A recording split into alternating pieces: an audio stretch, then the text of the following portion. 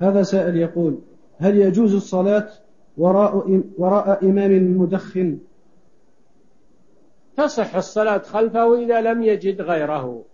إذا لم يجد غيره يصلي ولا يترك الجماعة.